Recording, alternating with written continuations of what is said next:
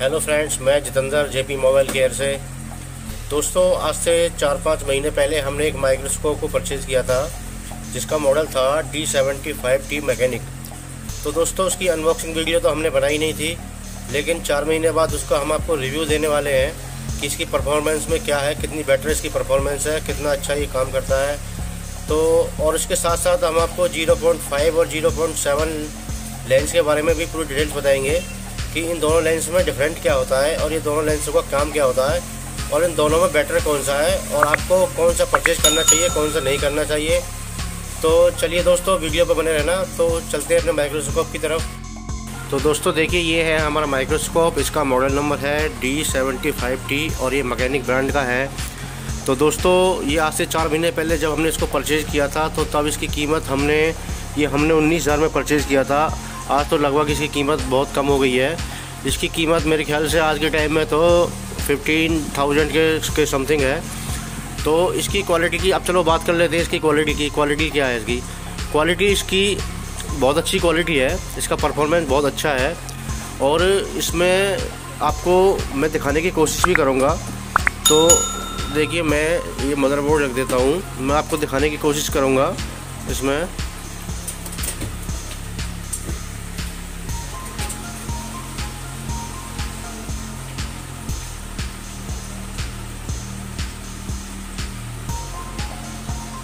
ये देखिए, मैं कोशिश कर रहा हूँ आपको दिखाने की।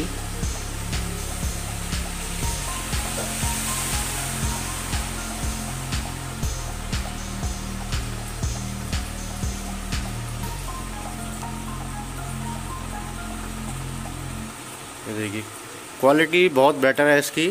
क्वालिटी में कोई फ़र्क नहीं है इसकी में। और मेरे हिसाब से तो मुझे तो अच्छा लगा ये। बजट के हिसाब से भी ठीक है और क्वालिटी के हिसाब से भी ठीक है ये। और इसके साथ साथ हमें जो इसके साथ मिला था, हमें ये एक थोड़ा बड़ा बेस मिला था इसके साथ, और ये सी टी लेंस भी मिला था, और इसके साथ दो कैप्स मिले थे, यानी चार मिले थे, दो उसके साथ थे, दो एक्स्ट्रा थे। वो मैं लगाना पसंद नहीं करता, क्योंकि थोड़ा उससे मुझे बड़ा अजीब सा लगता है देखने में। तो मैं तो इसको वैसे ही यूज़ करता हूँ, और क्वालिटी में इसकी में कोई फ़र्क नहीं है, बहुत अच्छी क्वालिटी है इसकी। और मैंने इसके अंदर जो लेंस लगाया हुआ है, वो ज़ीरो पॉइंट सेवन का लेंस लगाया हुआ है। तो हम हम लेंस की ही बात कर लेते हैं कि लेंस में क्या डिफरेंट होता है। तो दोस्तों, ये ज़ीरो पॉइंट सेवन का जो लेंस है, इसमें क्या होता है कि ये इससे हमारी जो माइक्रोस्कोप की जो हाइट है, इससे जो हमारे माइक्रोस्कोप की हाइट है, वो थोड़ी कम हो जाती है। लेकिन जो जो हमारे पीसीबी का जिस चीज़ को हम फोकस कर रहे हैं, उसका जो फोकस होता है, वो बेटर हो जाता है। और zero point zero point five की बात करें तो हम ज़ीरो पॉइंट फाइव में क्या होता है कि इसको लगाएँगे हम तो ज़ीरो पॉइंट फाइव को लगाने के बाद क्या होता है कि इसकी माइक्रोस्कोप की हाइट तो बढ़ जाएगी, लेकिन फोकस में वो वाली बात नहीं होती जो होनी चाहिए। और मेरे हिसाब से ज़ीरो पॉइंट जो सेवन जो लेंस है, वो बहुत बेटर है। तो अब इसमें क्या होता है कि जब आप ज़ीरो पॉइंट सेवन को लेंस जब इसमें लगाओगे तो इसकी हाइट कम हो जाएगी। तो उसमें क्या होता है कि आप जब एसएमडी से, जब आप एसएमडी से इसके नीचे काम करोगे तो ये देखो, आपको एक दो एक दो बार में आपको दिक्कत आएगी। उसके बाद उसके बाद में कोई दिक्कत नहीं आएगी और बाकी आप इजीली इससे काम कर सकते हो। ज़ीरो पॉइंट सेवन का जो लेंस है, उससे भी आप इसके नीचे काम कर सकते हो, कोई दिक्कत नहीं है। एक दो बार में आपको थोड़ी परेशानी होगी, बाकी उसके बाद तो कोई दिक्कत नहीं आने वाली। तो मेरे हिसाब से जो 0.5 है, उसकी हाइट ज़्यादा हो जाती है। लेकिन जो ये हमारा जो बीच का जो ये है, जो गैप है, ये बढ़ जाता है। ठीक है? बस ये फ़र्क होता है कि ज़ीरो पॉइंट जो सेवन होता है, उससे हाइट कम हो जाती है, लेकिन फोकस अच्छा हो जाता है। और ज़ीरो फाइव, ज़ीरो पॉइंट जो फाइव का जो लेंस होता है, उससे हाइट बढ़ जाती है और फोकस हमारा इतना बेटर नहीं रहता। तो आप अपने हिसाब से, आपकी मर्ज़ी के हिसाब से आप कोई भी ले लेकिन मेरे जो सजेशन है, जो मेरा जो कहना है, आप ज़ीरो पॉइंट सेवन ही लें।